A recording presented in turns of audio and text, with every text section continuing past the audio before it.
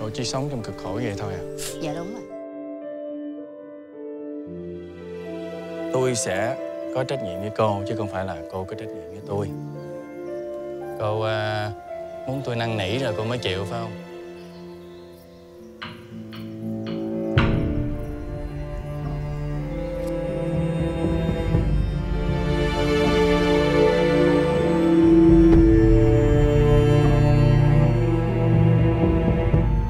Tình hình của anh và Chúa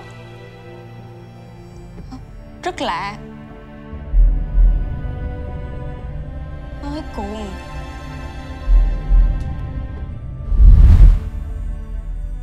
Con Con Câm!